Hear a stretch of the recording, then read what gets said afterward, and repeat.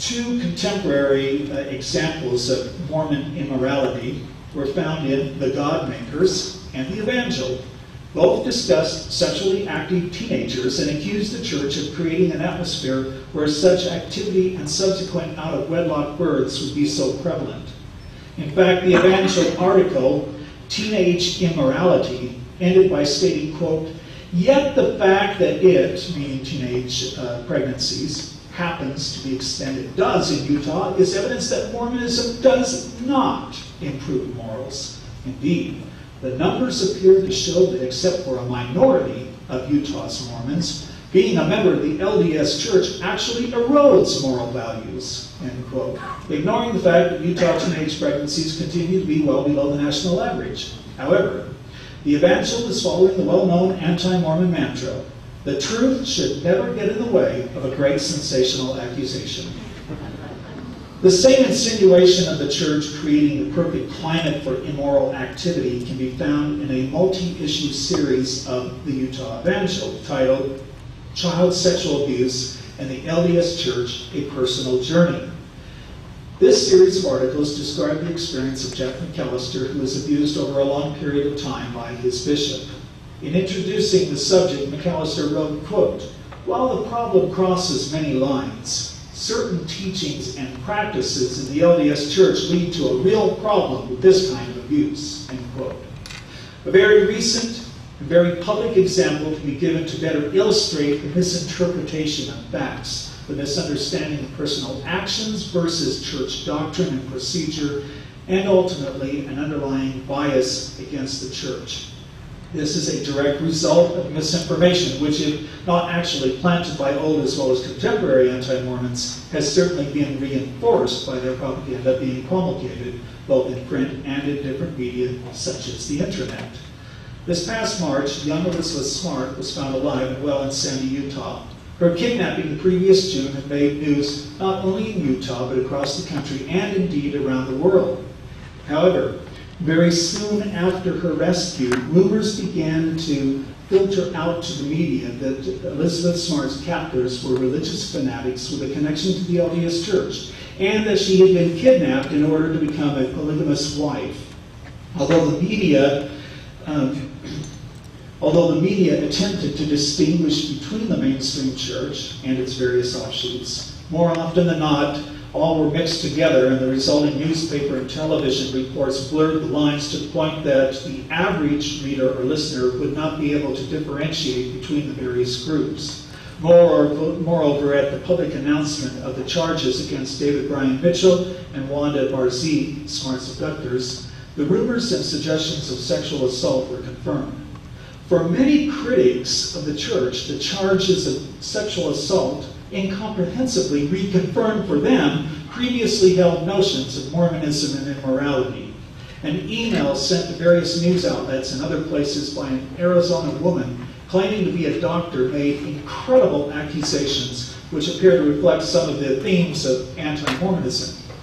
Quote If I were 15 years old, in excellent athletic health, and could run, rich, talented, popular, a virgin not used to sex, had a great family family to return to, I would find a way to escape my abductor.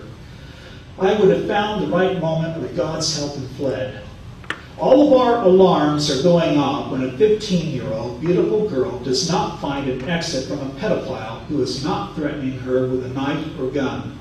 I have watched a TV program about the Mormon religion and the religion that and the belief that a father, uncle, or male household authority figure feels he has the right to introduce his daughter to sex.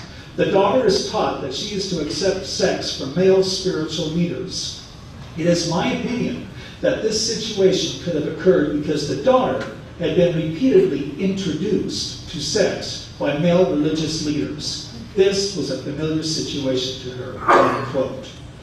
This supposed doctor was not alone with accusations of Mormon immorality, child abuse, and other problems.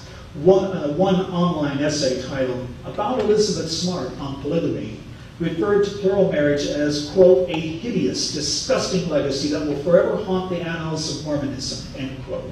And another accused the church of permitting quote, abuses of women and children, end quote. Jon Krakauer also discussed the Elizabeth Smart case. His book mentioned Mitchell's desire to make Smart, quote, a polygamous concubine, end quote.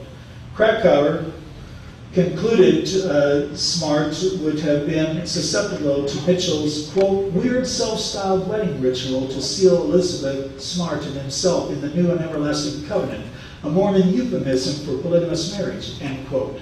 He then explained, quote, raised to obey figures of Mormon authority unquestioningly and to believe that LDS doctrine is the law of God, she would have been particularly susceptible to the dexterous fundamentalist spin Mitchell applied to familiar Mormon scripture.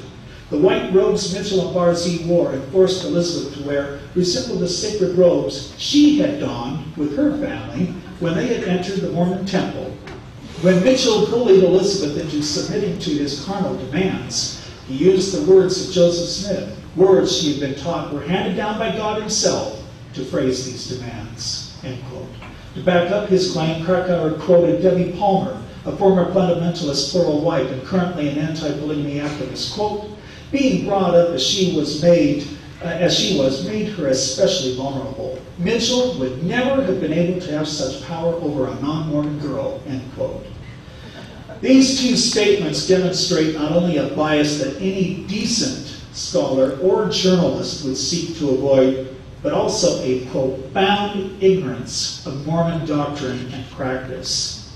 Two examples will suffice. First, Krakauer stated that Elizabeth would have worn temple robes when she accompanied her family into an LDS temple. This, of course, is patently false, as she was born in the covenant. And I know that because I checked Ancestral File. Uh, she would not have gone into any part of the temple but where youth are allowed to go, such as the baptismal font. Even if she had not been born in the covenant and had been, later been sealed to her parents, she would not have worn the temple robes, as she had not personally gone through the endowment ceremony.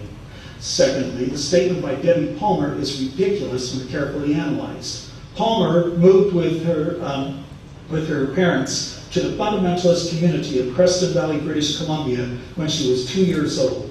She was raised in this community and entered into her own plural marriage when she was 15 years old. Eventually, she left the fundamentalist LDS Church and has been an outspoken critic of Mormon fundamentalism. Therefore, for Palmer to speak as an expert on whether or not Mitchell would have influence over a girl who has been raised in the LDS Church is like comparing broccoli to cauliflower. Broccoli may have come from cauliflower, but it is now significantly different and is considered a completely separate uh, vegetable. From the questionable background and immoral character of Joseph Smith to the licentious teachings and practices of Mormonism and its adherents, both old and new anti-Mormon works have trumpeted the supposed problems of the prophet and members of the church. Remarkably, the themes have not changed that much from the earliest days. Significantly, accusations of immorality have extended from Joseph Smith to the church membership as a whole.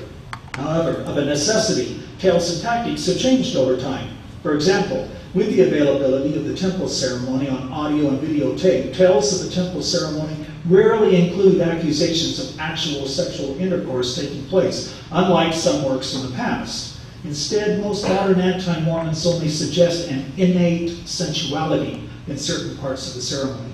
Furthermore, while stories of sexual abuse um, underage brides and other stories are told about fundamentalist offshoots, most readers would be too sophisticated or skeptical to unquestioningly believe accounts of innocent virgins kidnapped and held in the temple for the pleasure of the Mormon elders.